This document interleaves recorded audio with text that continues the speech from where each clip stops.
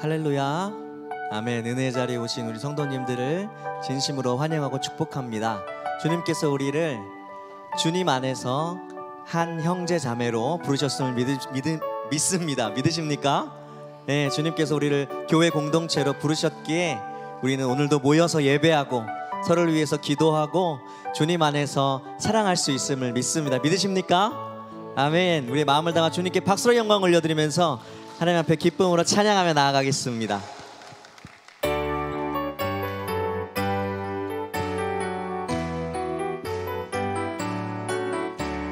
시온 성과 같은 교회 그의 영광 한없다 허락하신 말씀대로 주가 친히 세웠다 반석 위에 세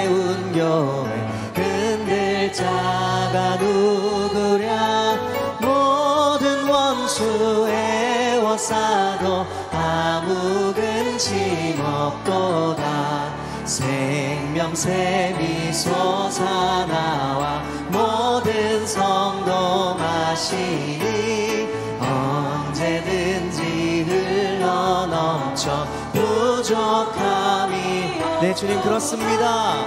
이런 물이 솟아나니 목마를 자누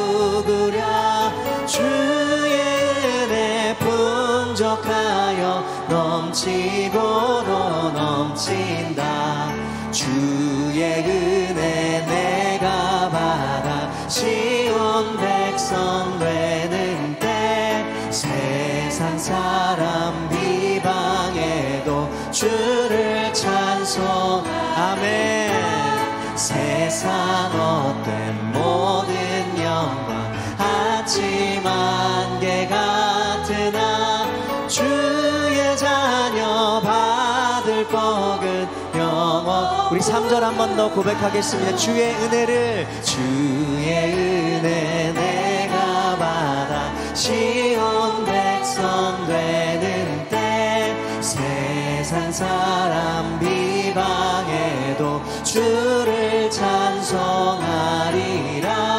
세상 어떤 모든 영광 아침 안개 같으나 주의 자녀 받을 복은 영원 무궁 세상 어떤 영광들은 세상 어떤 모든 영광 아침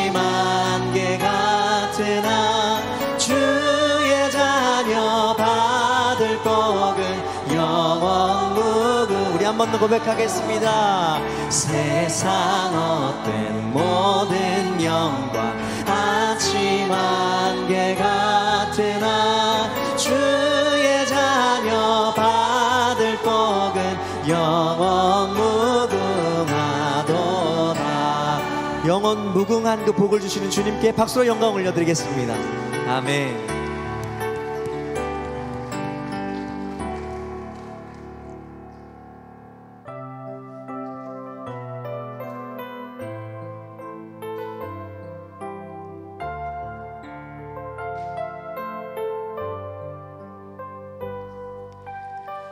아침 안개 눈앞 가리듯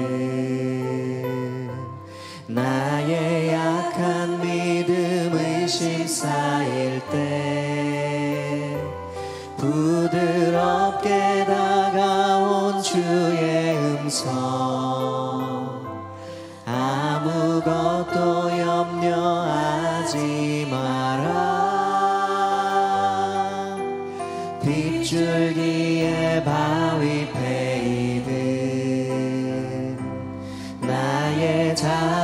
소망 사라져갈 때 고요하게 들리는 주의 음성.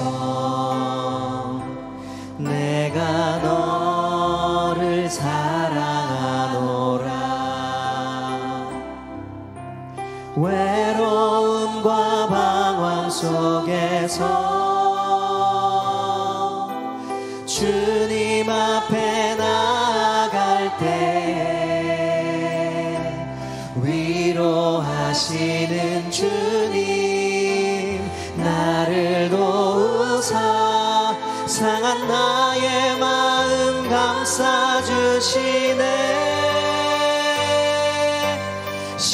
십자가의 모열로서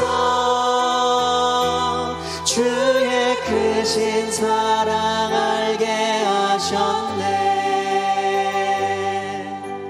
주님께 감사하리라. 언제나 주님께 감사해. 아침 한개 눈앞 가리듯 아침 한개 눈앞 가리듯 나의 약한 믿음 의심 쌓일 때 주님 우리를 긍휼히 여겨주옵소서. 부드럽게 다가온 주의 음성. 아무것도 염려하지 마라. 빗줄 바위 패이듯 나의 작은 소망 사라져갈 때 고요하게 들리는 주의 음성. 내가 너를 사랑하노라. 방황 속에서 주님 앞에 나아갈 때에 위로하시는 주님 나를 도우사 상한 나의 마음 감싸주시네. 십자가의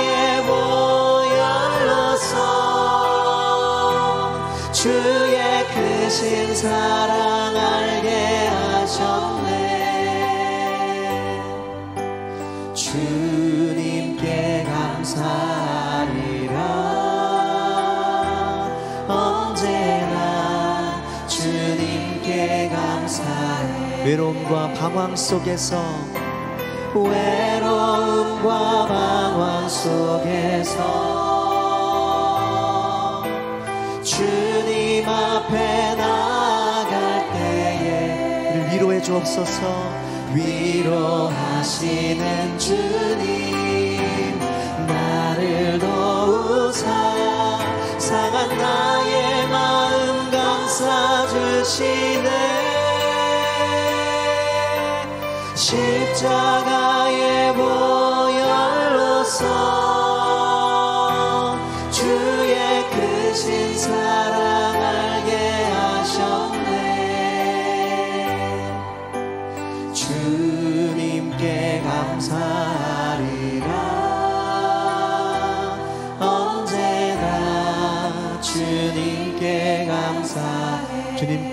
감사하리라. 주님께 감사하리라. 언제나 주님께 감사해. 주 품에 품으소서. 주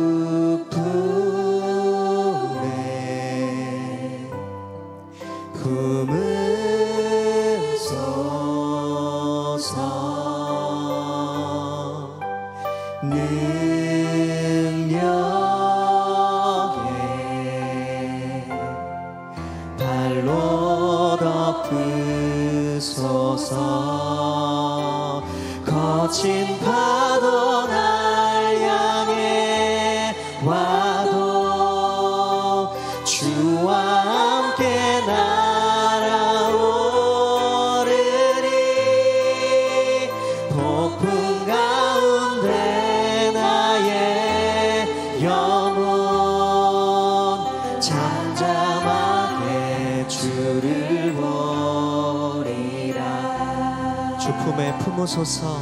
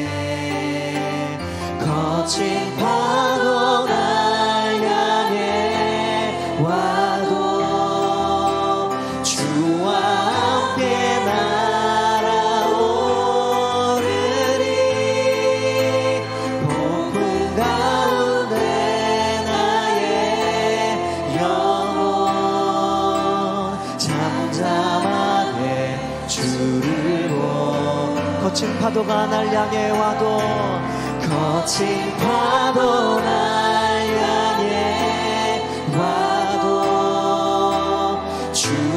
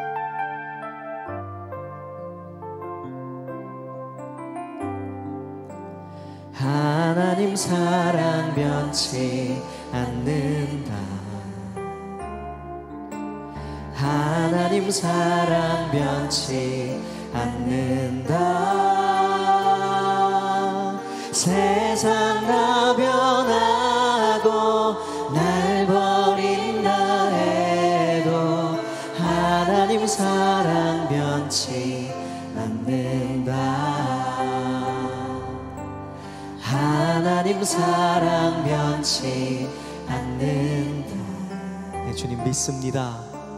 하나님 사랑 변치 않는다.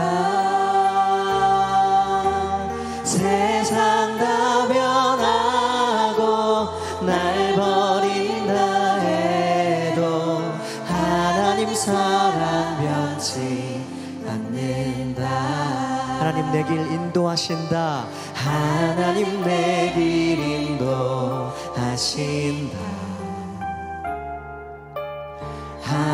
하나님 내 길 인도하신다. 나의 가는 길 다. 주님께 있으니 하나님 내 길 인도하신다. 반드시 기도 응답하십니다. 반드시 기도 응답하신다 반드시 기도 응답하신다. 때론 나의 뜻과 다른 길이라도 반드시 기도 응답하신다. 하늘의 것을 하늘의 것을 구하면 산다. 아멘 하늘의 것을 구하면 산다.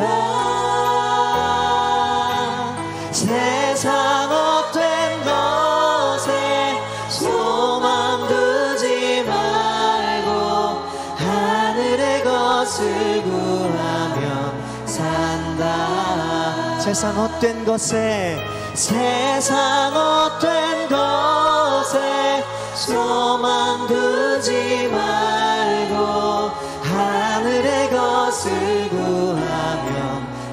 번 더 마지막으로 고백하겠습니다. 세상 헛된 것에, 세상 헛된 것에 소망 두지 말고 하늘의 것을 구하면 산다.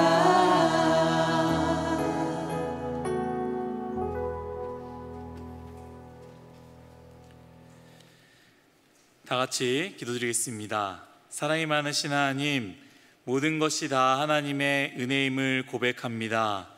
오늘도 주님께서 우리를 받아주셨습니다. 우리 어떠한 모습이든 상관없이 기쁨으로 환영해 주시고 용납해 주심으로 오늘 이곳에 주님께 나올 수 있음을 고백합니다. 그리하여 오늘 이 예배가 우리를 받아주신 주님께 영광이 되게 하여 주시고 또한 서로를 받아주는 은혜의 시간이 되게 하여 주옵소서. 하나님 계속 많은 비가 내리고 있습니다. 많은 곳에서 폭우로 말미암아 크고 작은 피해를 입고 있습니다. 산사태가 일어나 인명 피해가 입은 곳이 있고 집에 물이 가득 차고 논밭이 물이 가득 차 눈물로 비가 멈추기만을 기다리는 사람들이 많이 있습니다. 주님 그들의 눈물을 닦아주시고 더 이상 큰 피해가 없도록 은혜 내려 주옵소서. 파리 올림픽이 시작됩니다. 세계 모든 사람들이 이제 총을 내려놓고 정치와 인종과 세대를 내려놓고 하나 되는 시간이 되게 하여 주시고 특별히 대한민국의 국가대표 선수들과 돕는 스탭들 가운데 함께 하여 주셔서 땀 흘린 시간들의 귀한 열매를 맺게 하여 주옵소서. 주님, 주님 빛나시는 교회를 이루기 위해서 달려가는 우리 교회 새노래 명성교회를 위해서 기도합니다. 우리에게 맡겨주신 사명, 교육과 선교의 사명 이루도록 힘쓰게 하여 주시고 사명의 열매가 맺어지게 하여 주옵소서. 하나님 영아부, 유치부, 초등부, 여름 성경학교를 은혜 가운데 마치게 하여 주셔서 감사합니다. 어린 아이들 마음 가운데 예수님의 사랑이 심겨지게 하여 주시고 내일부터 시작되는 중고등부 수련회 가운데 동일한 은혜를 허락하여 주옵소서. 또한 글로벌 가족부와 또 뉴송화의 수련회가 준비되고 있습니다. 은혜를 부어셔서 예수님을 만나고 나의 하나님을 고백하며 사명을 발견하는 귀한 시간이 되게 하여 주옵소서. 주님 어려움 가운데 있는 성도들이 참 많이 있습니다. 건강, 물질, 사업, 결혼, 관계 등 수많은 문제를 세상이 아닌 모든 문제 해결되시는 예수님께 들고 나오게 하시며 주님께 들고 나올 때 모든 문제가 해결되는 놀라운 기적이 일어나게 하여 주옵소서. 우리 담임 목사님 위하여 기도합니다. 무더운 날씨 가운데 쉼없이 달리시며 사역을 감당하고 계십니다. 피곤치 않는 힘을 더하여 주시고 주님 주신 능력과 지혜로 새노래 명성교회 모든 사역을 감당하게 하여 주옵소서. 이제 말씀 앞으로 나아갑니다. 찬양대와 담임 목사의 말씀 가운데 기름 부으셔서 하나님께는 영광, 우리 모두에게는 은혜의 시간이 되길 원합니다. 감사드리며 이 모든 말씀 거룩하신 예수님의 이름으로 기도드렸습니다. 아멘.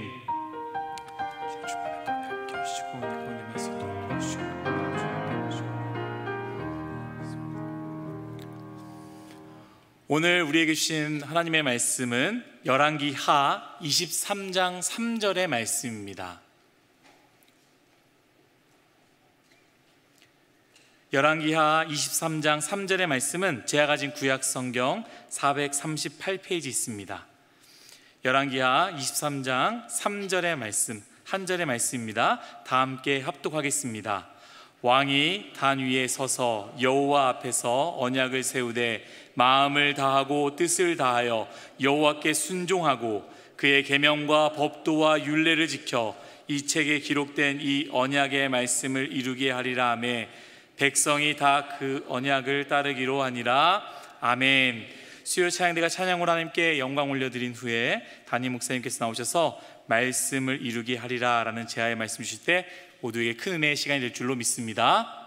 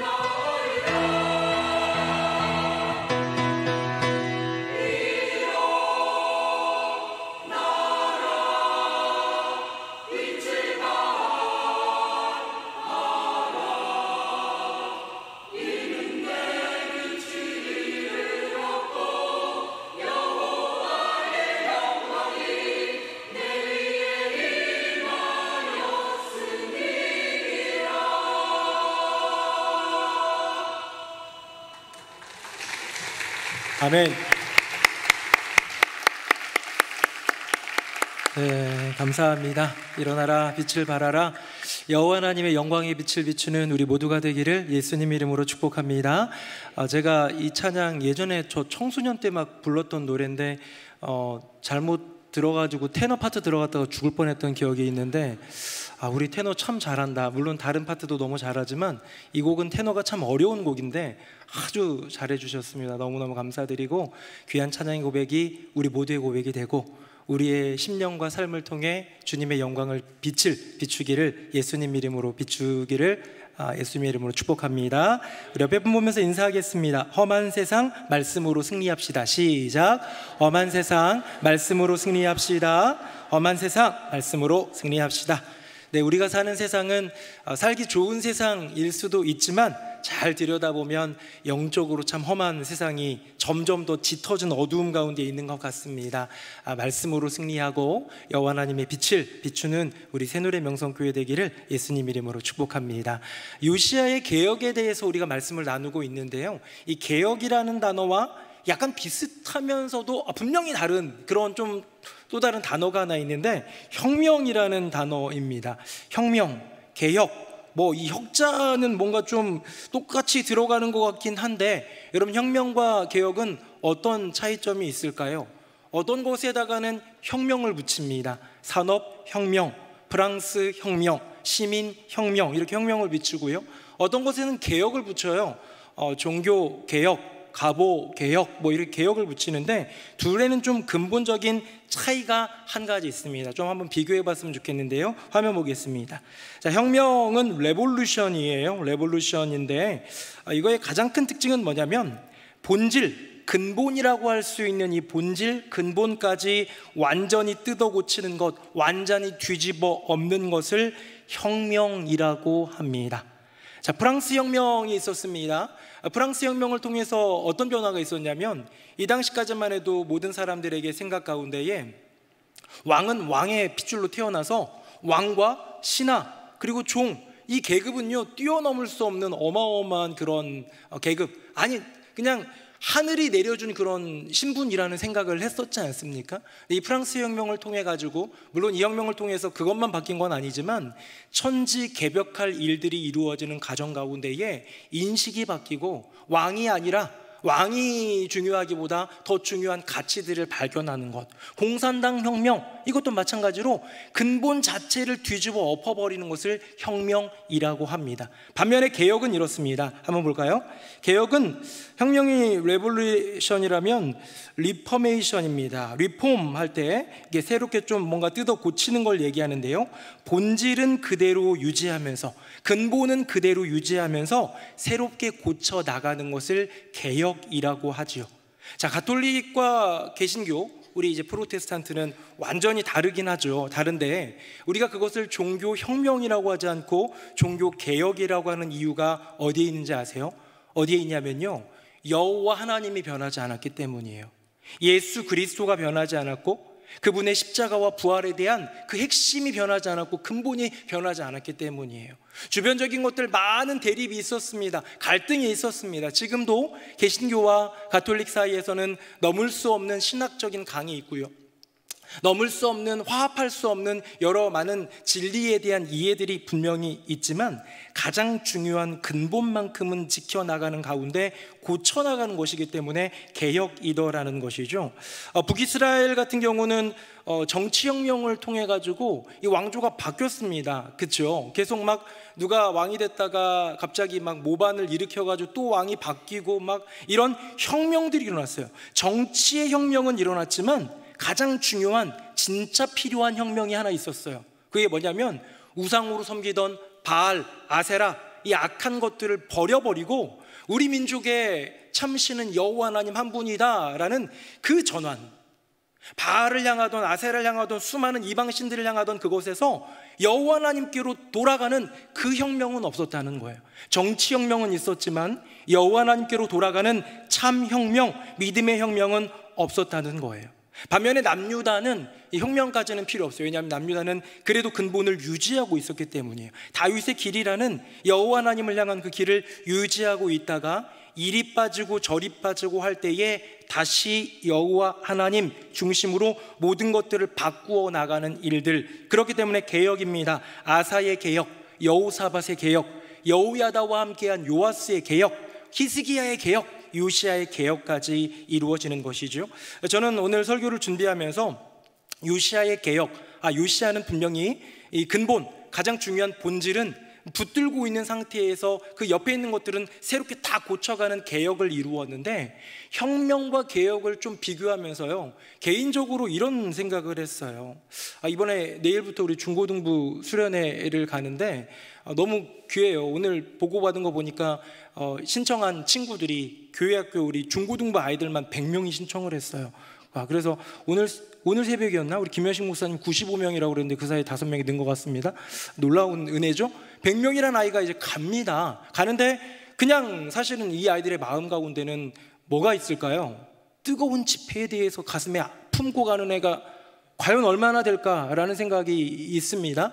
대체적으로 가는 아이들은 물놀이라든가 레크레이션이라든가 노는 거, 그 다음에 그거보다 더 재밌는 건 어쩌면 밤에 새벽 1시, 2시까지 놀 수 있는 그 밤놀이, 뭐 이런 것들을 기대하며 갈 수도 있어요. 그런데 우리 교역자들, 우리 중고등부 선생님들, 우리 성도님들이 함께 기도하는 건 뭐냐면 이 아이들의 심령과 인생 가운데에 선하고 아름다운 영향력, 하나님이 끼어들게 하시는 것, 하나님이 선한 개입으로 말미암아 그 아이들을 터치하는 것을 우리는 기도하고 있잖아요. 그러면서 저는 이 혁명과 개혁을 한번 떠올려 봤습니다. 혁명은 뭐냐? 이 혁명의 역사, 영적 혁명의 역사는 뭐냐? 아직 예수님을 잘 모르는 거야. 아니 안 한다 할지 안다 할지라도 지식은 있다 할지라도 내 인생의 주인은 여전히 나. 혹은 내 인생의 주인이 여전히 돈, 인기, 세상의 것들로 채워져 있는 인생이 주인을 내 인생의 주인을 예수 그리스도로 고백하는 게 혁명이에요.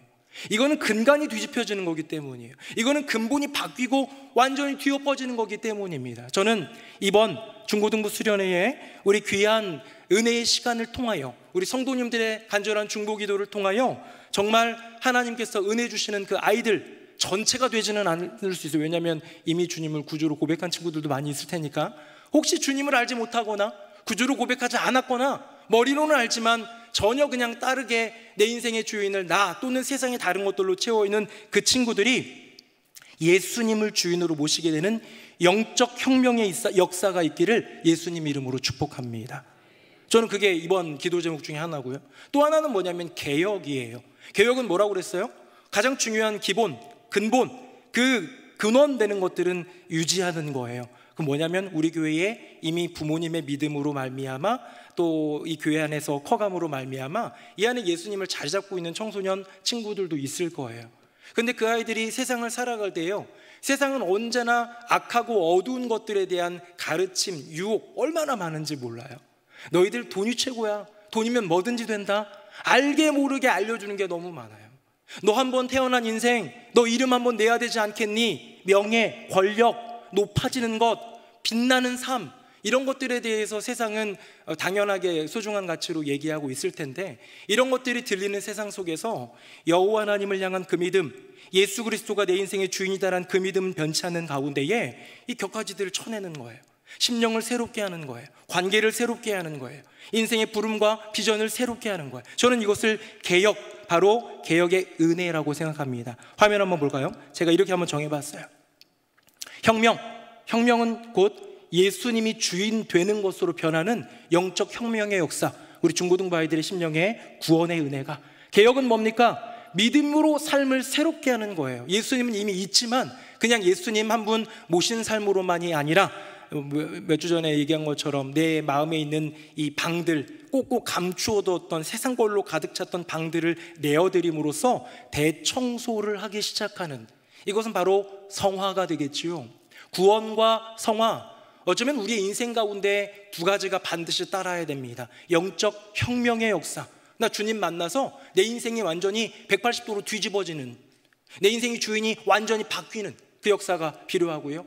그 다음에 뒤이어서는 우리의 인생 가운데 계속해서 새롭게 되는 주님 앞에서의 새로움의 도전, 회개하고 자복하고 통회하고 다시 주님을 향해서 도전하고 달려가고 애쓰며 믿음으로 나아가는 이 개혁의 의지를 가지고 나아갈 때 우리 새노래 명성교회 청소년들이 그 귀한 가정들이 여기 계신 모든 분들이 혁명과 개혁의 그 역사의 주인공이 될 줄로 믿습니다. 자 그렇다면 그 유시아의 종교 개혁을 우리가 나누고 있는데요. 오늘 본문에 보니까 지난주에 이제 지난주 지지난주 계속 율법책 발견한 게 너무 큰 의미의 이 개혁이었죠. 그 이전에 있었던 개혁보다도 더 의미 있는 그런 개혁을 이루게 되는데 오늘은 구체적으로 어떤 개혁들이 이루어지는지를 나누고 있는데요. 내용이 읽다 보면 되게 복잡복잡해요. 그래서 제가 조금 정리를 했습니다. 뭐냐? 요시아의 종교 개혁의 특징이 있는데 요시아는 세 가지를 회복했고요. 세 가지를 파괴했어요. 저는 이게 우리를 향한 주님의 분명한 부름이라는 생각을 해봅니다. 요시아의 종교 개혁의 특징. 자, 도대체 무엇으로 출발하고 무엇으로 시작하고 무엇을 회복했을까요? 화면 보겠습니다. 우리 같이 한번 읽어보겠습니다. 시작. 이에 왕이 여호와의 성전에 올라가매 유다 모든 사람과 예루살렘 주민과 제사장들과 선지자들과 모든 백성이 노소를 막론하고 다 왕과 함께한지라 왕이 여호와의 성전 안에서 발견한 언약책의 모든 말씀을 읽어 무리의 귀에 들리고 아멘. 여러분 첫 번째는 뭐냐면요. 성전이에요. 성전을 회복합니다. 이스라엘 백성들은 이 다윗성을 중심으로 많이들 살았고 지난 시간에 여선지 훌다는 이 구역에 살았다는 얘기도 했습니다. 뭐 예루살렘만 있었겠습니까? 더 나아가서 수많은 유대 땅 곳곳에 사람들이 살고 있었는데요. 그들의 인생 가운데 주어진 그들의 삶 가운데 중심이 되어야 될 그 성전이 이제는 더 이상 그렇지 않은 거예요. 이곳 저곳에 이 예루살렘 바깥에 우상들 굉장히 많았던 거 기억하죠? 대외 개혁을 많이 먼저 했지 않습니까? 요시아가. 이런 것들을 볼 때에 더 이상 성전 중심이 아니었습니다. 하지만 요시아는 이 율법책을 받아들고 우리가 모여야 할 장소를 알았어요. 어딥니까? 성전이에요.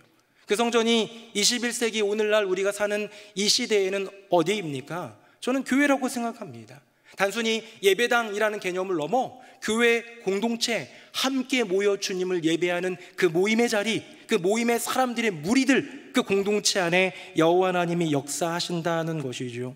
어, 지금 통계적으로 보면요, 우리 그 한국 교회에 주일 예배를 예를 들어서 100명이 나오면 예전에 주일 저녁 예배 몇 명 나오고 수요 예배 몇 명 나오고 이런 게 이제 비율적으로 조금 있었단 말이에요. 근데 그 비율이 점점 극단화로 치닫고 있습니다. 어디로 몰빵하고 있어요? 주일 예배에만 몰빵하고 있어요. 3일 기도회라고 불렸던 우리 이 수요일 예배를 지키는 것 무슨 수요 예배까지 나가냐 너도 참 유별나다 이렇게 된 세상이 됐어요. 새벽 예배? 아유 그건 잠 안 오는 분들 가는 거 아닌가? 라는 말하는 분들이 있는 거예요.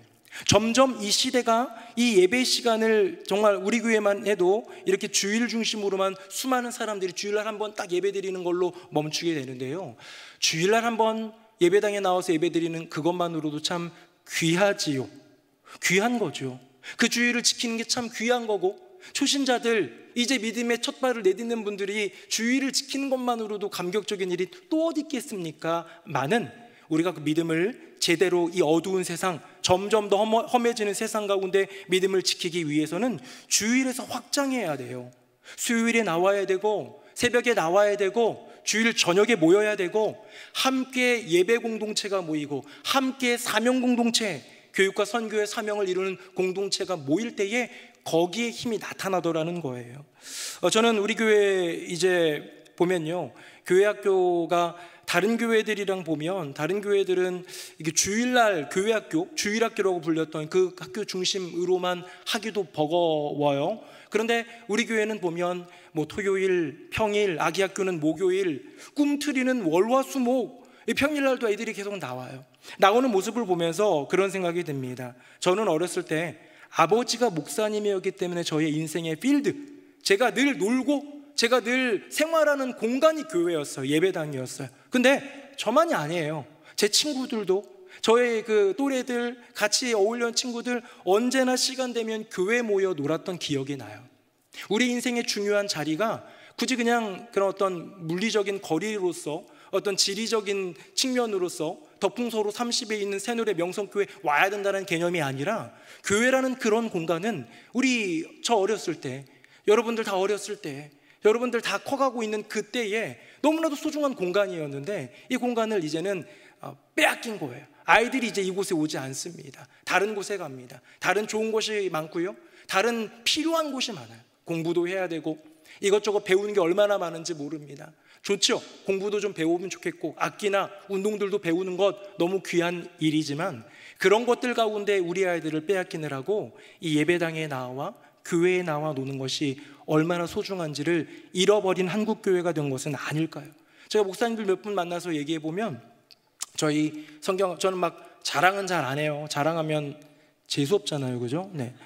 뭐 우리 새누리 명성교 얼마나 잘하는지 아세요 하면서 막 보여주고 그러면 별로 별로잖아요. 그래서 그냥 자랑보다는 혹시 물어보면 요런 거 합니다. 우리 교회 교학자들이 우리 선생님들이 너무 귀해요. 이렇게만 얘기를 하는데 얘기를 들으면 무슨 얘기를 하는 걸 제가 듣고 그랬냐면 교회 안에 아이가 우는 소리를 들어본 게 10년이 넘었대요.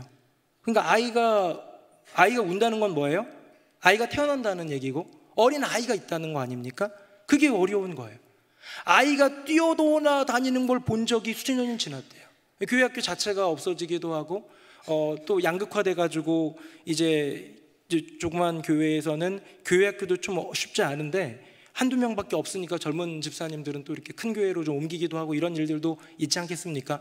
이제 그러다 보니까 교회 학교 아이들이 노는 것, 뛰어노는 것, 어린 아이들이 우는 것, 이런 거 듣는 것이 소망이 되고 그리움이 된 이 시대에 우리 새누리 명성교회는 하나님이 참 많은 은혜를 주시지 않았습니까? 교회 학교 아이들이 자꾸 교회에 오게 하도록 어른들이 자꾸 예배당을 밟고 자꾸 교회 구석구석에 함께 머무는 것이 얼마나 소중한가.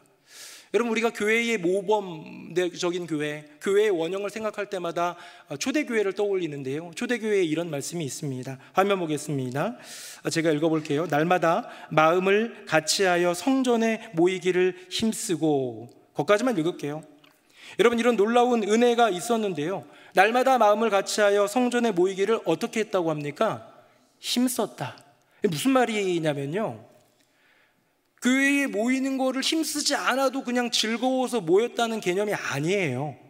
그러니까 이 시대는 교회 가고 싶죠. 함께 모이고 싶지만 모이는 게 쉽지 않았던 시대예요. 모이면 손가락질 당하고 모이면 위협 당하고 모이면 잡혀가기도 하고 사도들 막 잡혀가고 그랬잖아요. 이거는 단순히 지금 요 장에만 있는 이야기가 아니에요. 오순절 성령 강림 이후 직후에만 있는 게 아니라 초대교회의 원형의 그 모습을 보여주고 있는 건데 그때는 함께 모이는 것도 위험하기도 하고 저 권세 있는 사람들의 위협도 있었고 눈치도 보이기도 하고 여러 가지 많은 것들이 있었지만 모여야 해라는 그 사명감으로 모인 거예요. 왜? 모일 때 은혜가 있고 모일 때 함께 힘이 나고 모일 때 하나님의 놀라운 축복이 쏟아지는 것을 경험하기 때문에 홀로 집에 머물면서 있는 성도가 아니라 함께 모임으로써 우리 주님께서 부르시는 부름의 길을 걸어갈 수 있었더라는 것이죠. 여러분 우리가 교회에 모여야 되는 이유가 무엇입니까? 세상에도 많은 재미있는 모임이 있고 어쩌면 더 더 좋은 거 많죠.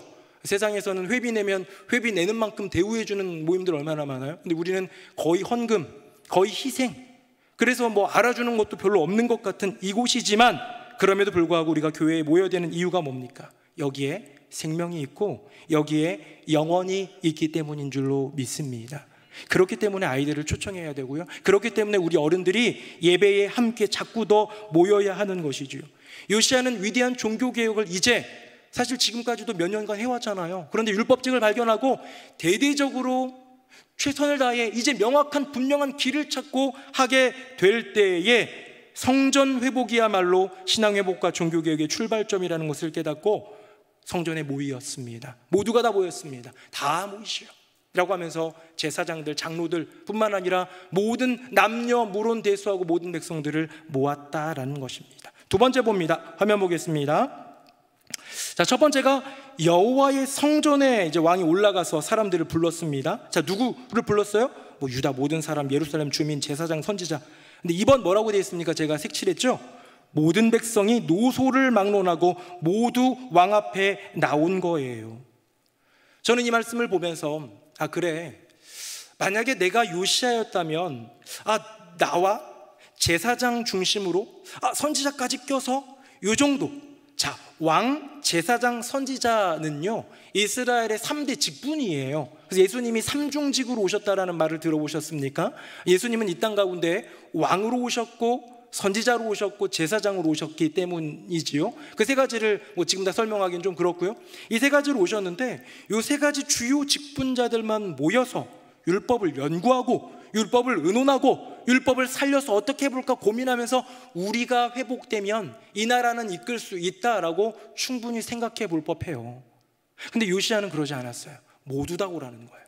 모두 다 와서 제사장이든 선지자든 어쩌면 젊은 제사장 중엔 어쩌면 젊은 선지자 중에는요 율법책을 구경 한번 못 해본 사람들도 있었을 거예요. 이미 오랫동안 숨겨져 있었고 버려져 있었고 감추어져 있었으니까 이 발견한 율법책을 모두에게 동일하게 읽어줍니다.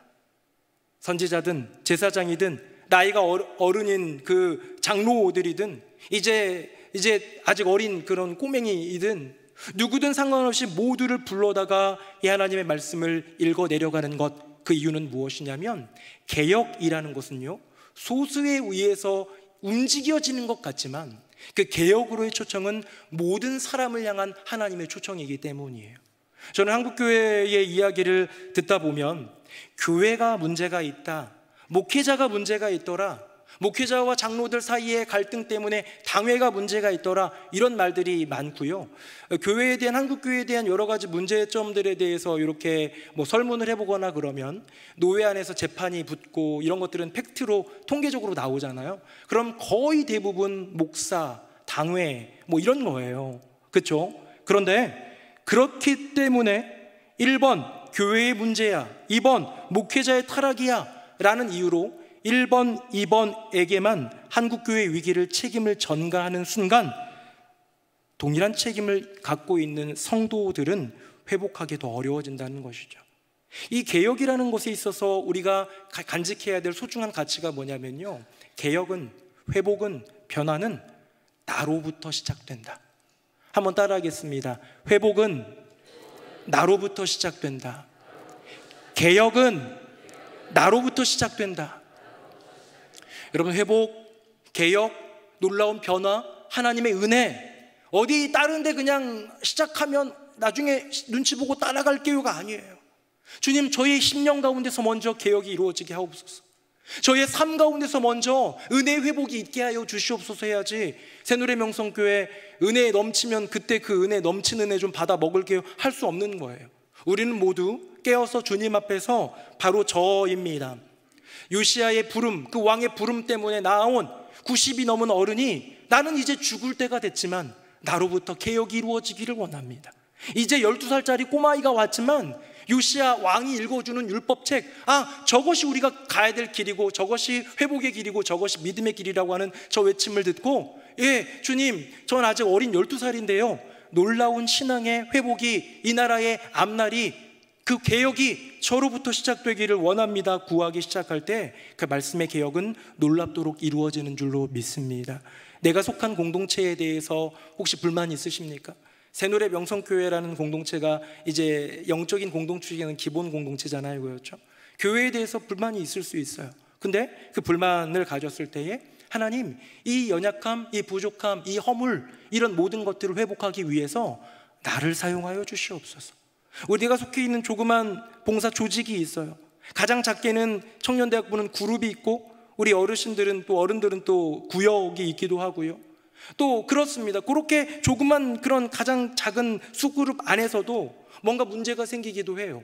그런 거 있을 때마다 어, 뭐 뒤에 이렇게 뒷짐지고 그런 데서 이루어지는 일들에 대해서 말하기는 얼마나 쉬워요.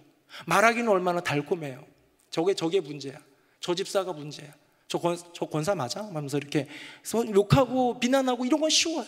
그런데 아니 내게 속해 있는 내 구역, 내 그룹, 우리 봉사 부서, 내가 속해서 내가 섬기고 있는 우리 부서 이곳에 놀라운 은혜의 회복은 다시 하나님께 서락하여 주시는 놀라운 축복 사명으로 쓰임 받음의 그 은총은 나로부터 시작된다. 왜? 요시아가 부른 사람은 직임이 높은 사람들, 나름 유명한 사람들, 삼중직이라고 불리는 사람들만이 아니라 물온대수하고 모두를 불렀기 때문에 그 개혁으로 초청받은 사람들 중에 아멘을 고백하는 사람의 심령 가운데 개혁이 이루어지더라. 사랑하는 새노래 명성교회 성도님들, 회복은 개혁은 그 변화는 나로부터 시작됨을 고백하면서 요시아가 모든 백성을 부른 것을 기억하여 주님의 그 부름이라고 생각을 하고요. 주님이 부르시는 개혁의 자리에 아멘 하면서 믿음으로 나아가는 저와 여러분 되기를 예수님 이름으로 축복합니다. 마지막 세 번째입니다. 화면 보겠습니다. 2절 안에 세 가지 회복하는 게 나오는 거예요. 1번 여호와의 성전에 올라갔지요. 여호와의 성전에 모이는 거예요. 두 번째 모든 백성이 모입니다. 노소를 막론하고 모였습니다. 자 이제 어, 개혁의 도구입니다. 바로 무엇입니까? 언약책에 있는 모든 말씀이에요. 개혁의 시작이 교회 공동체 안에서 시작되고 개혁의 대상이 우리 온 성도라는 것을 고백하면서 나를 통하여 이루소서 고백하듯 마지막 어쩌면 가장 중요한 요시아의 핵심 음, 진리라고 할 수 있는 이것 바로 율법책 여호와 하나님의 말씀이 우리 회복에 우리 변화에 우리 개혁의 도구다라는 것이죠. 16세기 종교 개혁이 이루어질 때 에, 마틴 루터 그리고 어, 존 칼빈 그리고 쯔빙글리 이런 사람들을 통해 가지고 많은 개혁들이 이루어질 때에 어, 그때 제가 한번 얘기했지만 어, 이렇게 어, 다섯 가지 솔라를 한번 라틴어로 얘기한 적이 있어요. 새벽 예배 때 한번 얘기한 적이 있는데 한번 보여드리도록 하겠습니다. 화면 한번 보겠습니다. 이게 이제 종교개혁 오다 오대 솔라스인데요. 보통 솔라라고 표현합니다. 그래서 솔라 스크립투라, 솔라 피데, 솔라 그라티아. 우리 솔라 그라티아 오직 은혜로를 아마 새벽 예배 때 했을 거예요. 그렇죠? solus Christus 그다음에 soli Deo gloria까지 이제 이게 궁극적인 우리의 지향점인데요. 여기에 나온 것들 중에서 순서는 조금씩 바뀔 수 있지만 제가 가장 어쩌면 제일 기본적이다 싶은 순서는 이거기 때문에 이렇게 했는데요. 여러분 첫 번째가 뭐였습니까? 첫 번째가 좀 발음하기가 어렵죠? 뭐예요? sola scriptura예요. scriptura. 라틴어는 발음기 아 다음 한번 볼까요? 네. 아 참 준비했죠 참. sola scriptura. 얼마나 이게 발음기호 영어로도 안 하고 한글로 잘 써줬습니까? 그렇죠? 라틴어는 읽기 쉬워요. sola scriptura는 무슨 뜻입니까? scriptura가 이제 어, 말씀이죠. 경전이죠. 하나님의 말씀으로 돌아가라는 거예요. 종교개혁의 가장 근간은 뭐냐면 왜 종교개혁이 일어났냐면 가톨릭에서 수천 천년 넘는 시간 동안 이어져 내려오는 동안 변질됐잖아요. 근데 그 변질을 어떻게 분별해? 그 분별이 뭐냐면 기준이 성경이에요. 성경이 말하고 있지 않은데 하고 있는 것들이 너무 많은 거예요. 성경과는 완전 다르게 변질되어서 인간의 것들로 채워간 것들이 너무 많은 거예요. 마치 구약의 율법 모세오경을 주셨는데 우리를 보호하고 우리를 지키고 우리를 살리기 위해 율법을 주셨는데 그거를 문자적으로 해석하면서 어, 안식일 날 어떻게 어느 만큼 걸을 수 있는 거지? 어느 만큼 이런 걸 해가지고 618개의 인간의 어떤 그런 율법들을 만들어가지고 스스로를 올감했던 그런 바리새인들의 모습과도 같이 신약의 그 복음, 예수 그리스도의 복음을 자기 멋대로 해석하고 자기 필요에 맞게 막 바꾸고 그 대표적인 게 불을 팔면서 이거 사면 너 구원받는다. 좀 더 비싼 거 있는데 이거 사면 너 전 5년 전에 돌아가신 아버지도 지금 아마 연옥에 있을 텐데 천국 갈 수 있을 거야. 뭐 이런 얘기를 하면서 얼토당토하는 얘기를 하는 모든 것들을 끊어내는 작업의 그 칼이 뭐였냐면요. 성경이었어요. 성경에 기록 안 됐어? 그럼 안 해. 성경에 기록됐어? 그럼 해. 성경의 모든 것의 기준이 되고 stan, standard가 되더라는 것이지요. 여러분 우리의 인생의 회복도 우리 인생의 변화도 우리 인생의 개혁도 아까 전에는 성도 뭐 모든 백성 얘기하면서 나로부터 시작되기를 소원하고 했다면 그 시작될 때 그 변화는 그 개혁은 그 회복은 무엇을 기준으로 이루어져야 되느냐 언제나 하나님의 말씀이더라 우리의 심령 우리의 인생을 탁탁 재단해 가지고요 아주 바른 모습으로 바꾸어가는 단 하나의 도구는 무엇입니까? 개혁의 도구는 바로 말씀이더라. 어떤 집사님이나 아니면 어떤 성도님이나 때론 청년이 그럴 수도 있겠죠. 저한테 이런 티에 찾아오신 분들이 간혹 있습니다. 아 목사님, 제가요. 제가 한동안 좀 바빴거든요. 그래가지고요, 어, 좀 게을렀어요. 제가 주일도 좀 몇 번 빠먹었고요. 성경 안 읽은 지도 좀 오래됐고요. 어쨌든 막 그렇게 얘기를 해요. 그러면서 뭐라고 얘기냐면, 이런 얘기 자주 하십니다. 이제부터 다시 잘해보려고요. 라고 얘기를 해요. 그러면서 자기가 마음 먹은 것을 저한테 보여줍니다. 굳은 의지를 보여주는 거예요. 저는 그 얘기를 들으면요. 일단은 고마워요. 왜? 그런 마음을 주신 것만 해도 어딥니까? 지금 다른 곁길로 가고 세상 길로 가고 신앙의 길이 아닌 그런 길에 달콤함에 젖어가지고 가다가 안 되겠구나 해가지고 자각해서 돌아온 것만 해도 어딥니까? 그런데 그 변화는요 의지로 안 되더라는 거예요. 인간의 의지로 되는 게 아니더라는 거예요. 내가 마음 먹는다고 되는 게 아니더라는 거예요. 어쩌면 다이어트는 어쩌면 멋진 몸을 만드는 것은 어쩌면 공부하는 것은 의지로 가능할 수 있어요. 인간 의지, 인간에게 주신 의지를 가지고 할 수 있지만 신앙의 변화, 신앙의 회복, 신앙의 개혁은요, 단순히 그냥 의지만 가지고 되는 것이 아니라 명확한 도구를 들어야 됩니다. 바로 여호와 하나님의 말씀입니다. 말씀 없이는 회복도 없고요. 말씀 없이는 개혁도 없습니다. 말씀으로 신앙을 회복하고 말씀으로 신앙의 개혁을 이루는 저와 여러분 되기를 예수님 이름으로 축복합니다. 그래서 기도가 회복이 필요하다라고 할 때는 언제나 기도와 더불어서 다시 하나님의 말씀으로 나아가야 돼요. 내가 주일날 예배당에 나오긴 하는데 말씀의 은혜를 못 받고 있다라고 한다면 제 책임입니다만 그런데 마음을 다해가지고 노력하며 애쓰며 몸부림치며 은혜 구하며 말씀의 은혜 받기를 위해서 처절한 그런 영적 몸부림을 쳐야 돼요. 혹시 혹시 이런 경우가 있을 수도 있겠죠. 저한테 상처가 상처 받아서 제가 지나가는 말로 한 것 때문에 상처가 돼가지고 제가 설교하는 거를 들을 때마다 은혜가 되겠어요? 저한테 기분 나쁜데 보기만 해도 기분 나쁠 수도 있잖아요, 그렇죠? 그러면 어떻게 되겠어요? 그러면 은혜가 안 되는 거예요. 그럼 어떻게 해야 됩니까? 저는 제가 만약에 그거 사실을 알면 찾아가겠죠. 성도님 죄송합니다. 저 때문에 마음 상하시. 제가 모를 수가 있어요. 그럼 어떻게 해야 됩니까? 저를 찾아와서라도 그 관계를 풀어서 어떻게 보면 온전히 새롭게 되어서 다시 말씀 앞으로 나아가려고 하는 몸부림이 없다면 단순히 그냥 내 의지를 가지고 시간 들이는 것 가지고 회복이 되는 것이 아니라 여호와 하나님의 말씀 앞에 다시 설 때, 여호와 하나님의 말씀 앞에 자신을 조명할 때, 여호와 하나님의 말씀 앞에 자기 인생을 다시 재단하기 시작할 때 개혁이 이루어짐을 고백하면서 요시아의 율법책을 회복하는 저와 여러분 되기를 예수님 이름으로 축복합니다. 자, 요시아가 회복한 것 세 가지였습니다. 성전을 회복했고요. 모든 백성을 불러 모았고요. 언약책의 모든 말씀을 되찾고 그것을 통해서 재단하기 개혁을 시작하게 되었습니다. 자, 그렇다면 이제 그거를 가지고 개혁을 시작하는데요. 파괴한 것들이 있습니다. 다음 보겠습니다. 세 가지를 파괴하는데요. 자, 첫 번째는 뭘까요? 4절 같이 한번 화면에 있는 걸로 읽어보도록 하겠습니다. 시작. 왕이 명령하여 바알과 아세라와 하늘의 일월 성신을 위하여 만든 모든 그릇들을 여호와의 성전에서 내다가 예루살렘 바깥 기드론 밭에서 불사르고 그것들의 죄를 베델로 가져가게 하고 아멘. 어, 4절부터는 쭉 이어지는 이 본문의 말씀 가운데에 어, 사실 굉장히 많이 나오긴 하거든요. 근데 이게 여기 갔다 저기 갔다 우상 빠았다가 막 또 불살랐다가 또 나오고 이러게 하는데 제가 가장 크게 이런 것들을 해처무효로 해가지고 볼 때 세 가지가 나옵니다. 이 세 가지를 요시아는 파괴했어요.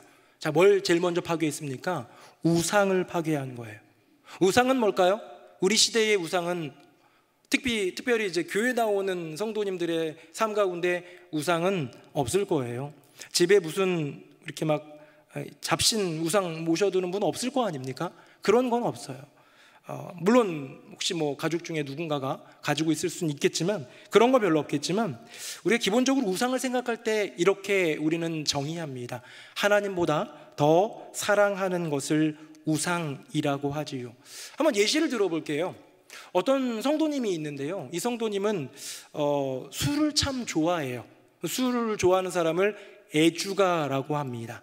그냥 이제 사회 속에서 정말 어떻게 보면 필요할 때 이렇게 거래처에서 조금 하는 정도가 아니라 술만 생각하면 좋은 분이 있어요. 너무너무 좋아요. 그 어떤 것보다도 술이 좋아요. 이런 분에게 있어서 주님은 예수님이 아니라 술주자가 되겠죠? 이 주님을 너무 좋아하는 진짜 애주가가 있습니다. 알코올 중독에도 걸려 있습니다. 자, 그러면 이분에게 있어서 우상은 무엇입니까?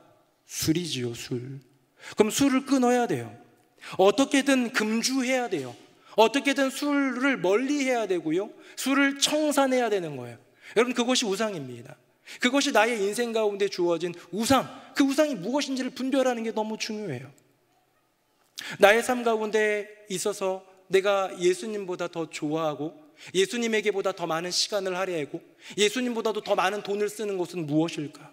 어떤 분은 보면 어쩌면 뭐 헌금이나 이런 거는 그냥 거의 안 하는데 어디에 몰빵해 가지고 뭐 어떤 동호회든지 취미 생활이든지 그냥 한, 한 달에 100만 원 이상씩 쓰는 분도 있어요. 그런 분들이 있어요. 그럼 내가 정말로 주님을 사랑하는 것이고 하나님 나라를 위한 삶입니까? 아니면 그, 그, 그것, 뭐 피규어를 모으든 아니면 뭐를 하든 거기에 돈 쓰는 사람이 있다면 거기에 빠진 인생이겠죠. 한 달을 돌아보니 내가 돈 쓴 것 중에서 물론 밥 먹는 거, 애들 뭐 옷 입히고 이런 것들이야 뭐 필요하겠죠. 기본적인 거 말고 하지 않아도 되는데 하는 것들 얼마나 많습니까? 한 달을 돌아봤더니 술 먹는 데만 70만 원을 썼다. 그럼 지금 목사님 웃었잖아요. 70만 원이 한 번 술 먹는데 70만 원 나와요. 그러니까 지금 이게 한 달에 70만 원 썼다고 했는데도 이렇게 어이없어 하시지만 700만 원 쓰는 분도 있는 거예요. 이 세상을 돌아보면 그만큼 나의 인생 가운데에 하나님보다 더 사랑하고 거기에 올인된 것은 무엇이 있는가? 그 우상을 우리 찾아야죠. 다음 보겠습니다. 두 번째 어, 제가 읽어볼게요.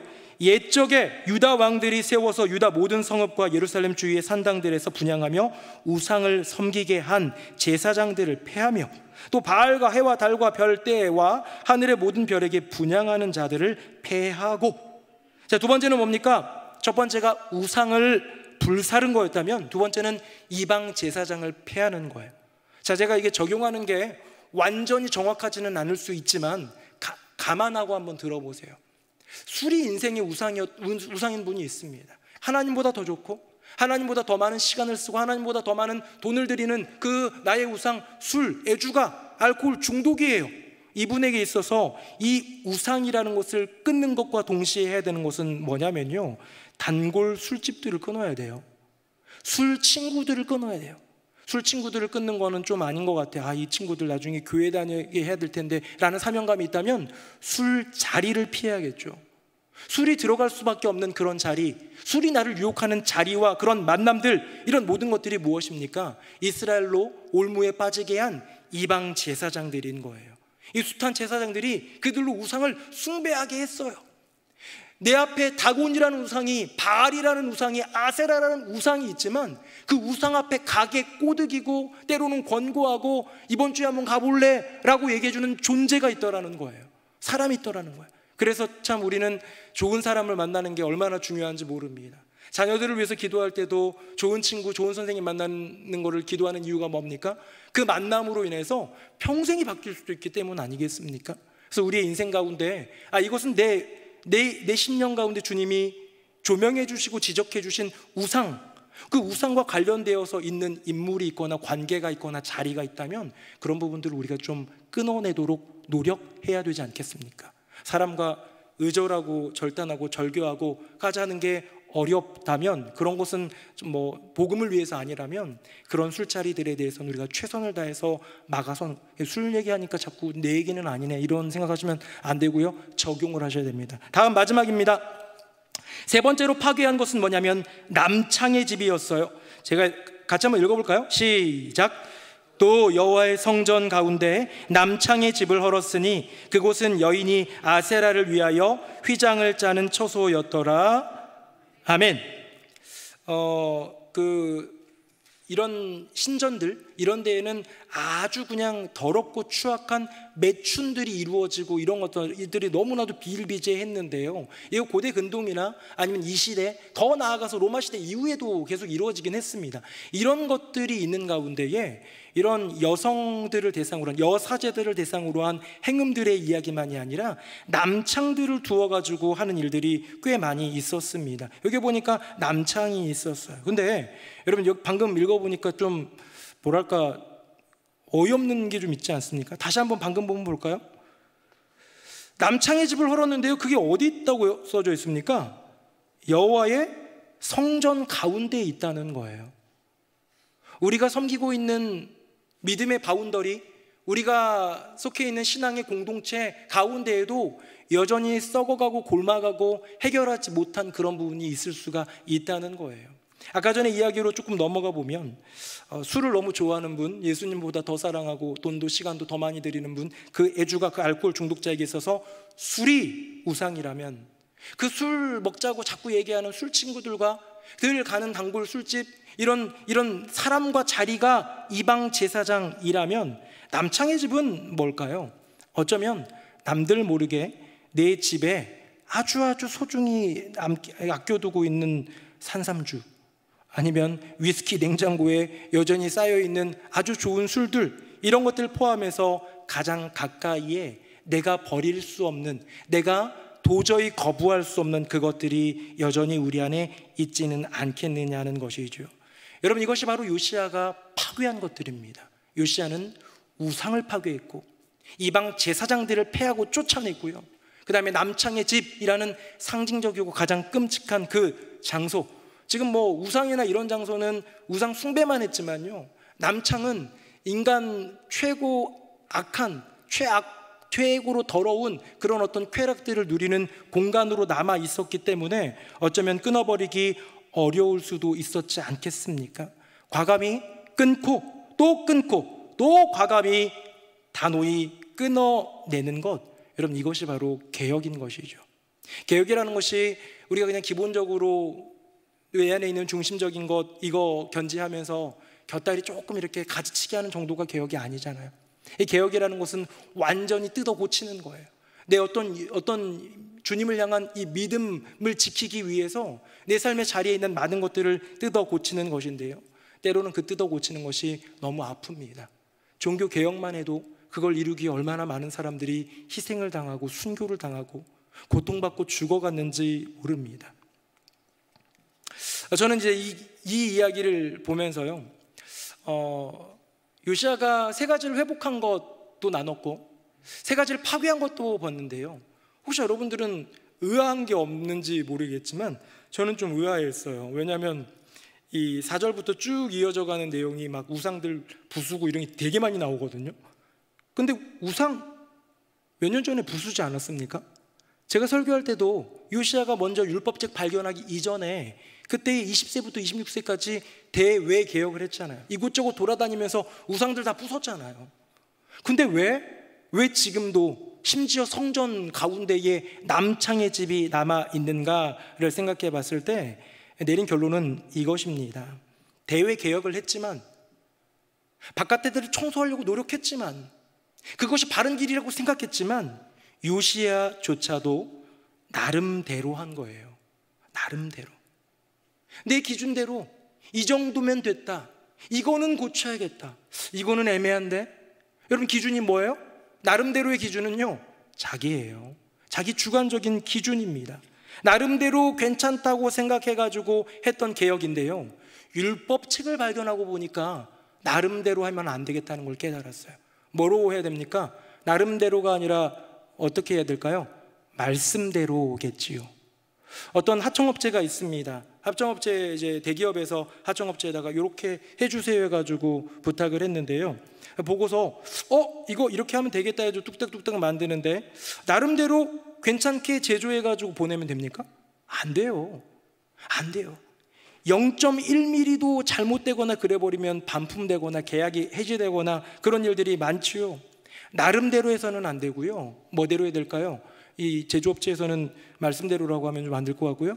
주문대로 해야겠죠. 위에서 내려드는 주문대로 해드려야 온전하게 해드려야 계속적인 거래가 이루어지면서 회사가 커가지 않겠습니까? 마찬가지지요. 우리도 우리의 인생 가운데 주님의 부름이 있습니다. 이 땅 가운데서 이런 열매를 맺어라. 마치 하청 제조업체에게 이런 걸 좀 만들어 내렴이라고 얘기하는 것처럼 우리가 만들어야 될 많은 것들이 있는데 어, 나름대로 요거 정도는 괜찮지 않을까? 나름대로 요거 정도는 이해되지 않을까? 이 정도는 난 괜찮은 것 같은데? 라는 나름대로의 기준이 남아 있다면 우리는 개혁해야 될 것을 계속 쌓아가고 있는 것이겠지요. 나름대로는 개인의 생각대로이고요. 좋음의 차원이에요. 내가 좋으냐, 안 좋으냐. 하지만 말씀대로라는 것은요, 기록된 말씀대로를 얘기하고 옳음의 차원, 무엇입니다. 사랑하는 새노래 명성교회 성도님들 좋게 신앙생활하지 말고 옳게 신앙생활하는 저와 여러분 되기를 나름대로 괜찮은 신앙인 말고 말씀대로 괜찮은 신앙인 되기를 예수님 이름으로 축복합니다. 말씀 한 구절 읽겠습니다. 화면 보시고 오늘 말씀입니다. 같이 한번 읽어보겠습니다. 시작. 왕이 단 위에 서서 여호와 앞에서 언약을 세우되 마음을 다하고 뜻을 다하여 여호와께 순종하고 그의 계명과 법도와 율례를 지켜 이 책에 기록된 이 언약의 말씀을 이루게 하리라 하매 백성이 다 그 언약을 따르기로 하니라 아멘. 저는 어, 여러분들에게 몇 차례 이제 남유다의 좋은 왕들을 비교도 좀 했었잖아요. 그래서 뭐 아사왕이 4등이었고 3등이 여우사밭이고 이제 비등비등한 이 결승전에 오른 두 인물 히스기야와 요시야. 히스기야는 여호와 하나님을 의지하는 것에 있어서는 따라갈 자가 없었고 요시야 같은 경우는 여호와 하나님의 율법 그대로 준행함에 있어서는 따라갈 자가 없는 그런 왕으로 인정받았기 때문에 용호 상박이다라고 했는데요. 어떤 주석가가 어떤 주석가가 아마 요시야 본문이니까 더 그랬을 수 있는데요. 요시야가 더 낫다라고 말한 사람이 있어요. 그래서 왜 근거가 있어야 되잖아요. 근거가 무엇이냐? 히스기야와 요시야는 그의 인생 말년에 똑같은 것이 주어졌대요. 뭐냐면요. 최후에 대한 예언을 들었어요. 너희 나라 멸망한다. 맞죠? 히스기야도 들었고 요시야도 들었습니다. 또 공통점 두 번째 하나 더 있어요. 뭐냐면요. 둘, 둘에게 주어진 은혜인데요. 너희 나라가 멸망할 것이지만 히스기야야 너 때는 안 이루어져 이고요. 요시야야 너는 생전에 그거 안 볼 거야. 너 살아있는 동안에는 그렇지 않아. 했어요. 이 두 가지가 똑같았어요. 근데 차이점이 있다는 거예요. 그것에 대한 반응입니다. 히스기야는 조소이다. 내 인생의 때에 평안이 있으면 그것으로 족합니다. 라고 하면서 하나님 앞에서 감사를 드리고 어쩌면 살아간 인생 같죠? 성경의 이야기를 보면. 근데 요시아는 달랐습니다. 요시아는 그 이야기, 훌다 여선지자의 이야기를 듣고도 그 율법책을 내려놓고 내가 그러면 오래 살아야지 우리나라가 그래도 오래 가겠구나 거기에 관심 두지 않고요. 옷을 찢고 눈물을 흘렸던 그것을 우리의 자녀들에게 물려주기 위해 어른들만 아니라 어린이들도 제사장 선지자만이 아니라 모든 백성들로 불러 모아가지고요 하나님의 말씀으로 돌아가자 외친 거예요. 그러면서 방금 한 말이 바로 요시아의 위대한 고백이죠. 방금 본 본문 보겠습니다. 이게 요시아의 의지예요. 이것이 소망이에요. 뭐라고 되어 있자면 이 책에 기록된 이 언약의 말씀을 이루게 하리라. 아멘. 여러분 요시아가 왜 말씀을 이루려는 불굴의 의지를 보였을까요? 어쩌면 히스기야도 멈췄을 것 같은데 요시아는 왜 죽을 때까지 이 일을 위해서 더 열심을 내며 달려갔을까요? 그에게 있어서 말씀을 이룬다는 것의 소망은 무엇일까요? 이 말씀을 이루면 내가 복받는다? 어쩌면 우리는 우리의 심령들 가운데 어, 그냥 베이스로 깔려 있는 게 뭐냐면 말씀 순종하고 예배 잘 드리고 기도 잘하고 이렇게 하면 신앙생활 열심히 하면 복 받는다라는 개념이 우리 안에 있어요. 틀린 말 아닙니다. 복 받아요. 주님이 복 주실 거예요. 놀랍도록 은혜 주시기를 축복합니다. 근데 그게 끝이 아니잖아요. 요시아는 이거 없어도 이미 하나님이 보장해 주신 인생이 있었고 평안이 있었고 형통이 있었는데요. 그것이 그의 인생의 꿈이 아니었어요. 내가 이루고 싶은 말씀의 그 이름, 이 말씀을 이루어 드리겠다라는 그 고백은 무엇이겠습니까? 여호와 하나님의 뜻이 이루어지는 것, 주님이 기뻐하시는 것, 그리고 주님이 기뻐하시는 그것이 이 나라의 패망이 아니라 다시 살려주시는 그 회복의 은혜라면 내가 불굴의 의지를 가지고 내 온몸을 깎아내서라도 내가 죽는 한이 있더라도 이 개혁을 이루리라 라는 말씀 안에서의 소망, 말씀 이름에 소망이 있는 것이죠. 사랑하는 성도님들, 말씀 혹시 놓쳐버리셨습니까? 다시 지키면 회복할 수 있습니다. 말씀 혹시 조금 멀리 좀 떨어지거나 좀 거리가 좀 떨어져 있습니까? 다시 지키면 살아날 수 있습니다. 하나님의 말씀이 내 인생의 복을 위해 도구로 쓰이는 것이 아니라 하나님의 말씀이 내 인생 가운데에 하나님의 뜻을 이루는 데에 그 아름다운 선을 위하여서 소망을 가지고 품기 시작한다면 우리의 인생 놀라운 하나님의 개혁이 이루어질 줄로 믿습니다. 유혹의 단어 나름대로의 믿음이 아니라 믿음의 단어 말씀대로의 삶을 살아가는 저와 여러분 우리의 인생이 되기를 예수님 이름으로 축복합니다. 아멘. 우리 함께 찬양하겠습니다.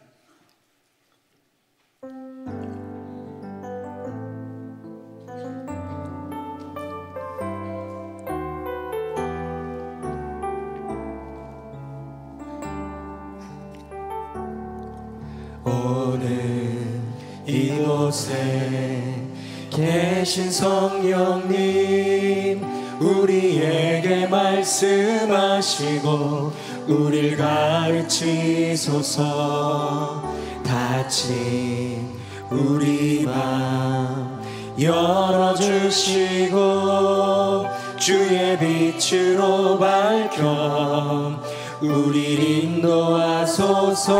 주님보다 주님보다 앞서지 않고 겸손하게 주님의 말씀 기다리니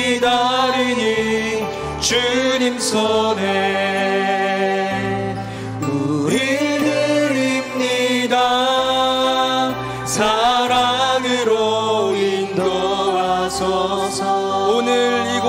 계신 성령님 오늘 이곳에 계신 성령님 우리에게 말씀하시고 우릴 가르치소서. 다친 우리 맘 열어주시고 주의 빛으로 밝혀 우릴 인도하소서. 주님보다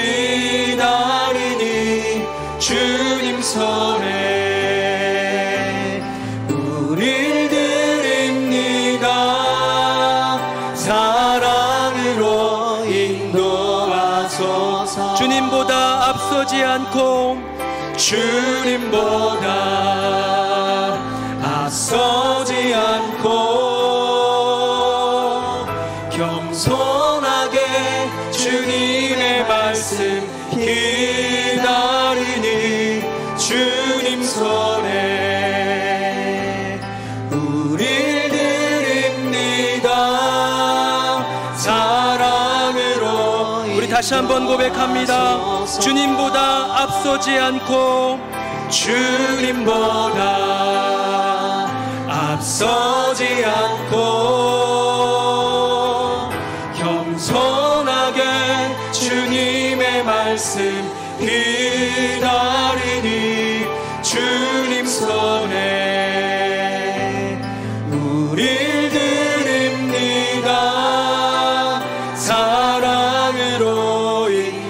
마지막으로 한 번만 더 고백합니다. 주님보다 주님보다 앞서지 않고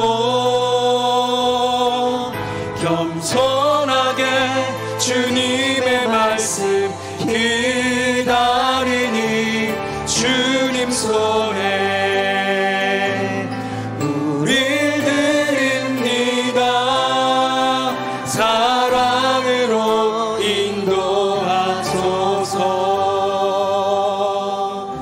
이제 함께 기도하길 원합니다. 유시아는요 세 가지를 회복했습니다. 성전, 교회를 회복했고요.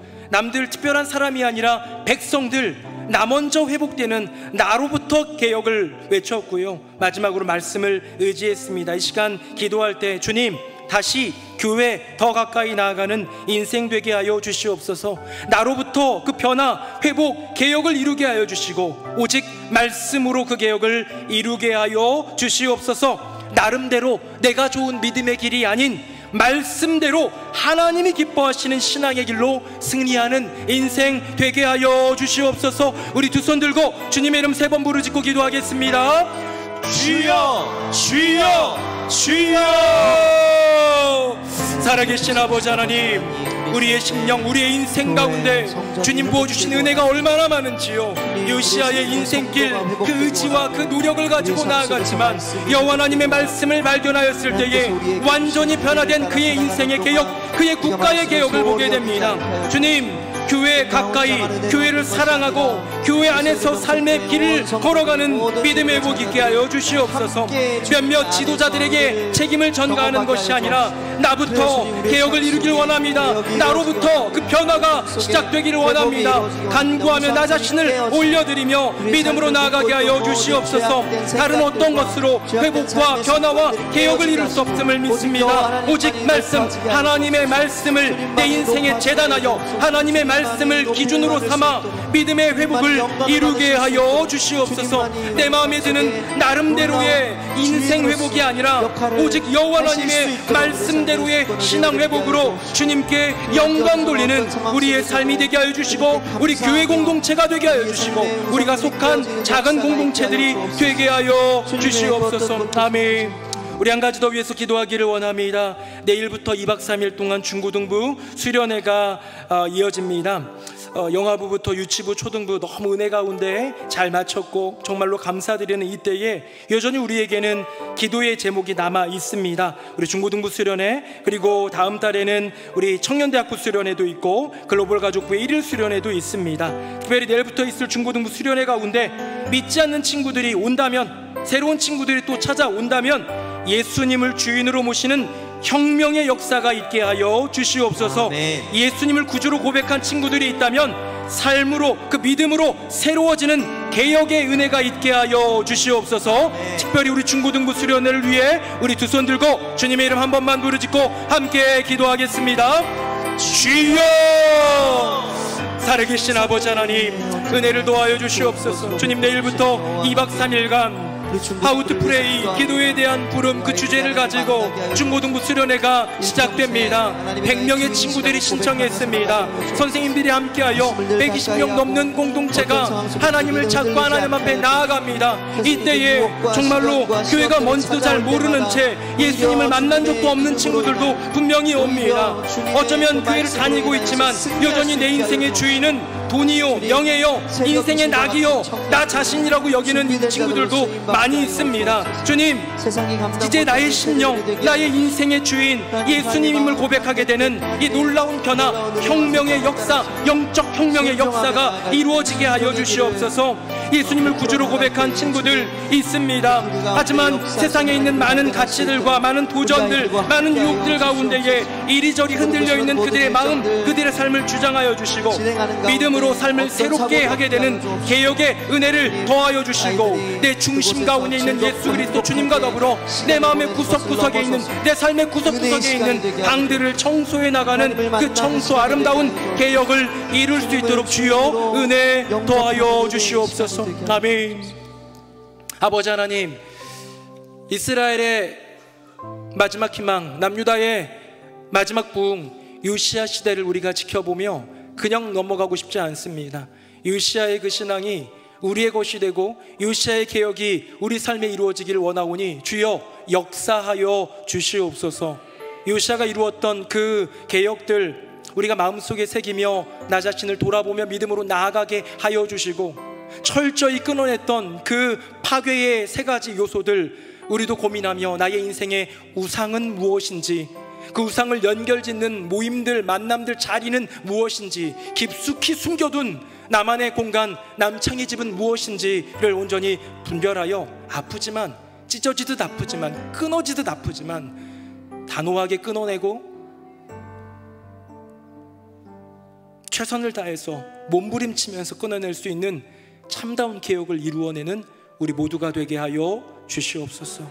나름대로 괜찮은 내가 보기에 좋은 그런 신앙생활이 아니라 나름대로가 아닌 말씀대로 하나님께 영광 돌리는 믿음의 인생 살아가는 우리 모두가 되게 하여 주시옵소서.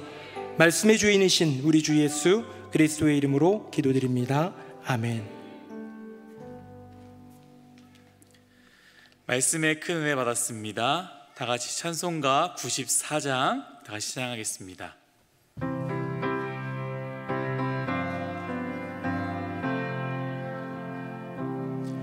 주 예수보다 더 귀한 것은 없네. 이 세상 부귀와 바꿀 수 없네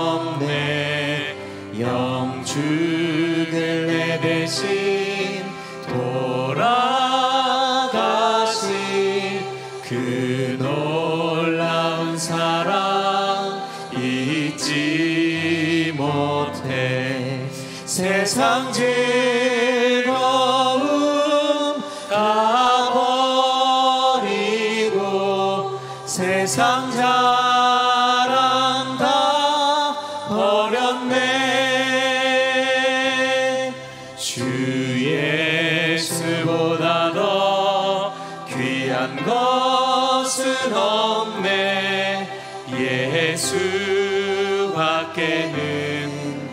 3절 찬양하겠습니다. 주 예수보다 더 귀한 것은 없네. 이세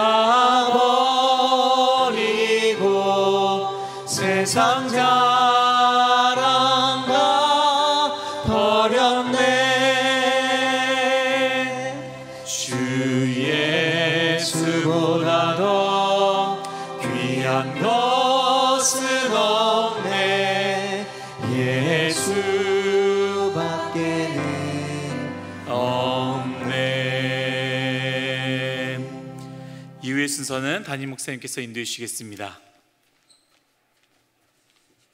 네, 수요예배 나오신 모든 분들 늘 환영하고 하나님께서 수요예배를 통해서 나오신 모든 분들 가운데 은혜를 더하여 주실 줄로 믿습니다. 에, 여름 성경학교 너무 은혜 가운데 잘 진행되고 있고 우리 영아부, 유치부, 초등부는 어, 은혜 주시는 것과 또 날씨 또 안전하게 지켜주시고 하는 모든 과정에서 참 감사한 일이 많습니다. 또 아울러서 어, 규모 있게 진행되다 보니 봉사자들이 참 많이 필요했는데 봉사자들이 너무 많이 잘 애써주셔가지고 진심으로 감사드리고 이번 주 토요 지난 토요일에는 우리 물놀이 하는 데에 어, 식당에서는 우리 권사님들 집사님들 막 준비도 막 잘해주시고 간식팀도 수고해주시고 또 우리 청년대학부가 안전요원으로 얼마나 많이 수고해 주셨는지 몰라요. 우리 청년대학부가 점점 건강하게 회복되고 일어나면서 이제는 봉사의 자리를 아, 열심히 또 적극적으로 알아가지고 이렇게 찾아와서 도와주고 있는데 청년대학부를 위해서도 기도해 주시고 응원해 주시기를 부탁드리겠습니다. 어, 글로벌 가족부의 날 영화 관람하면서 좋은 시간 가졌고요. 대단한 팀이에요. 영화관을 대관을 했어요. 한 관을. 와 대단한 글로벌 가족부 다른 데에도 한번 대관 한번 해서 영화도 보고 교제했으면 좋겠는데 글로벌 가족부 안에도 행복한 만남과 또 신앙의 성장이 있기를 축복합니다. 오감 독서 캠프 초등학교 1, 2학년 대상으로 준비하고 있습니다. 은혜롭고 좋은 시간 배움의 시간이 될 텐데 해당 자녀가 있거나 또 구역 식구들 중에 있으면 신청해 주시고 권면해 주시면 좋겠습니다. 알림에 제가 그거를 넣었는데요. 이번에 파리 올림픽이 아마 내일 시작하나요? 아마 내일인가 모레인가 시작을 할 텐데 개막하면 시작할 텐데 우리 문정혜 권사님 큰 따님 되는 조은영 집사님이 영양사로 참석을 하셨어요. 그래서 TV에도 몇 번 나왔거든요. 그래서 열심히 잘 하고 있고 어, 조은영 집사님이 가서 어, 우리 선수들 잘 먹이고 또 좋은 성적 내도록 응원도 해주시기를 바라고요. 또 하남농인교회 김혜식 목사님 큰아드님이신 최병광 선수 어, 올림픽 국가대표로 출전한다는 건 그 무게감이 다르죠. 물론 육상은 우리나라 불모지기 때문에 메달권에 근접하지는 않지만 정말 대표로 나가서 우리나라의 태극기를 들고 뛰는 거 얼마나 대단한 겁니까? 응원해 주시고 기도해 주시고 좋은 성적도 내고 결과도 내고 의미 있는 걸음걸음을 걸을 수 있도록 그렇게 축복해 주시기를 부탁드립니다. 주보에 나와 있지는 않는데요. 우리 교회 삼교구장을 섬기고 있는 김영환 목사님이 축구를 하다가 발목이 부러져 가지고요. 지금 어, 입원해서 수술 받았습니다. 근데 발목이 두 개가 다 부러져 가지고 하나 수술했고 다음 주 월요일 두 번째 거 수술해요. 그래서 어, 기도해 달라고요. 네, 잘 기도해서 어, 잘 회복해서 어, 오시면 아마 당분간은 목발 짚고 다니실 텐데 어, 놀리지 마시고 예, 잘 목회할 수 있도록 잘 도와주시면 감사하겠습니다. 우리 다 함께 자리에서 일어나시겠습니다. 우리 옆에 분하고 인사하겠습니다. 말씀으로 개혁합시다. 시작. 말씀으로 개혁합시다. 말씀으로 개혁합시다. 우리 마지막 찬양 함께 찬양하겠습니다. 하나님 독생자 하나님 독생자 예수 그리스도 날 위해 고귀한 생명 주셨으니 그 생명 받은 나 하늘의 소망이네 나의 삶은 귀한 삶이라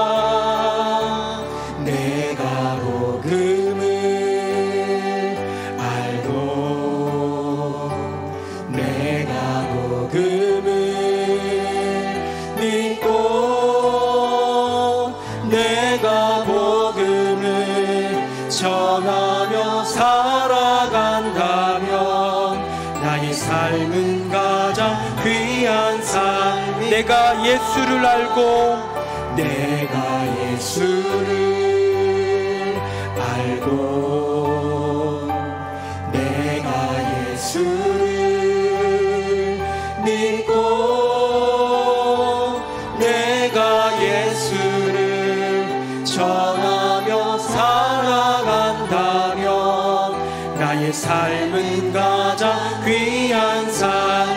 내가 예수를 위해 내가 예수를